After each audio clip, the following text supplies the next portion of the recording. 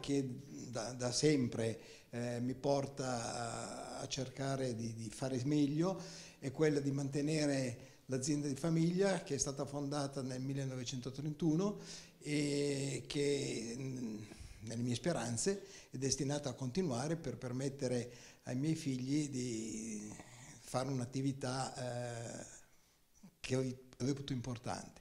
Oltre a questo ovviamente la responsabilità delle persone che lavorano per noi, un centinaio di persone, eh,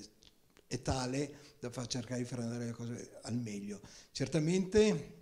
il nostro mercato che è molto legato all'edilizia, che come tutti sappiamo in questi anni ha subito delle crisi pesanti, eh, per essere mantenuto a livelli accettabili richiede molti sforzi di organizzazione, di miglioramento dei processi, di attività commerciale e anche pesanti sacrifici economici che in questi anni hanno visto ridurre i margini per mantenere il fatturato a livelli accettabili.